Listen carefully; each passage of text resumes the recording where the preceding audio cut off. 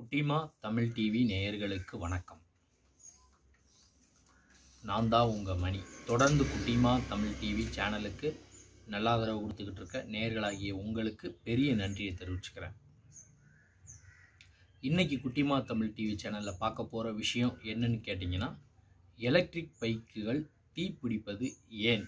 அதை பற்றி தான் இப்போ வந்து குட்டிமா தமிழ் டிவி சேனலில் வந்து கொஞ்சம் விரிவாக பார்க்க போகிறோம் அதுக்கு முன்னாடி இப்போ வந்து வெயில் காலம் ஆரம்பிச்சிருச்சு.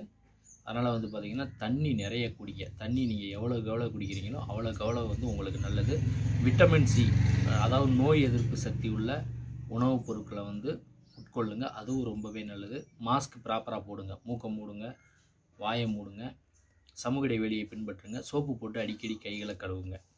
இப்போ எலக்ட்ரிக் பைக்குகள் வந்து அண்மை காலமாக தமிழ்நாட்டில் வந்து கிட்டத்தட்ட இரண்டு மூன்று ஊர்களில் வேலூர் மணப்பாறை திருச்சி மணப்பாறை அப்புறம் இன்னொரு ஊரில் கூட வந்து பார்த்திங்கன்னா எலக்ட்ரிக் பைக் வந்து தீப்பிடிச்சி எறிஞ்சதாக செய்திகளை வந்து நீங்கள் டிவி சேனல்லையும் நியூஸ் பேப்பர்லேயே பார்த்துருப்பீங்க கேள்விப்பட்டிருப்பீங்க. எதுக்காக தீப்பிடிக்குது அப்படின்னு கேட்டிங்கன்னா ஒருவேளை வெப்பத்தினால கூட தீப்பிடிக்கலாம். அதாவது வெயில் காலம் அதிகமாக இருக்கிறதுனால கூட தீப்பிடிக்கலாம் அப்படிங்கிற மாதிரி ஒரு சில தகவல்கள் வந்து வந்துக்கிட்டு இருக்கு. எலக்ட்ரிக் பைக்கில் வந்து தீப்பிடிப்பதற்கு காரணம் வந்து வெப்பநிலை.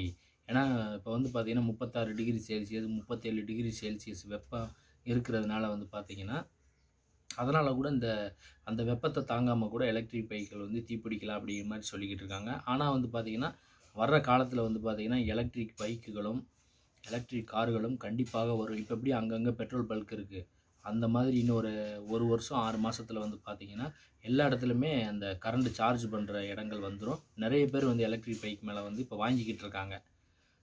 எந்த அளவுக்கு பெட்ரோல் பைக்கு சேல் ஆகுதோ அந்த அளவுக்கு அதுலேருந்து ஒரு ஃபிஃப்டி பர்சன்டேஜ் அளவுக்காவது எலக்ட்ரிக் பைக்கில் வந்து விற்றுக்கிட்டு இருக்காங்க கவர்மெண்ட்டும் மானியம் கொடுத்துக்கிட்டு இருக்கு அதனால் வந்து பார்த்திங்கன்னா இனி வர காலத்தில் வந்து எப்படி நம்ம சோலார்லேருந்து கரண்ட் எடுத்து யூஸ் பண்ணிக்கிட்டு இருக்கோமோ சூரிய ஒளியிலேருந்து அந்த மாதிரி எலக்ட்ரிக் பைக்குங்கிறது ஒரு அத்தியாவசியமான தேவை. இந்த தீப்பிடிக்காமல் இருக்கிறதுக்கு அந்த கம்பெனிகள் வந்து அதில் இருக்கக்கூடிய நெகட்டிவான விஷயங்களை வந்து சால்வ் பண்ணணும். ஏன்னா இப்போ தீப்பிடிக்குது தீப்பிடிக்குதுன்னு சொல்லிட்டு நியூஸ் வந்துச்சுன்னா மக்கள் வந்து அந்த எலக்ட்ரிக் பைக் வாங்குகிற இதை வந்து ஸ்டாப் பண்ணிடுவாங்க ஏன்னா ஒரு இரண்டு மூன்று இடங்களில் நடந்திருக்கு. தொடர்ந்து நடந்துக்கிட்டு இருக்கு. நீங்களே கேள்விப்பட்டிருப்பீங்க பார்த்துருப்பீங்க கேட்டிருப்பீங்கன்னு ஏற்கனவே சொல்லிட்டேன்.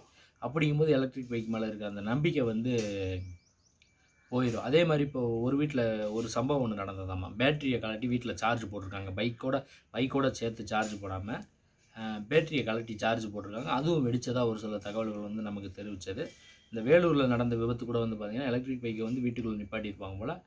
அந்த பைக்கு தீப்பிடிச்சி எரிஞ்சதில் புகை மூட்டத்தில் வந்து பார்த்திங்கன்னா அவங்க அப்பாவும் பொண்ணும் ஸ்பாட்டில் இறந்துட்டாங்க. அப்புறம் மணப்பாறையில் கூட வந்து பார்த்திங்கன்னா பைக்கு தீப்பிடிச்சி எரியிறத வந்து வீடியோ எடுத்து போட்டிருக்காங்க. அப்போ இந்த மாதிரியான விஷயங்களை வந்து அந்த பைக் சம்மந்தப்பட்ட கம்பெனிகளை வந்து ரெக்டிஃபைர் பண்ணால் வந்து ரொம்பவே நல்லாயிருக்கும் ஃப்யூச்சரில் எலக்ட்ரிக்குங்கிறது வந்து தவிர்க்க முடியாத ஒரு விஷயமா போய்கிட்டு இருக்கு.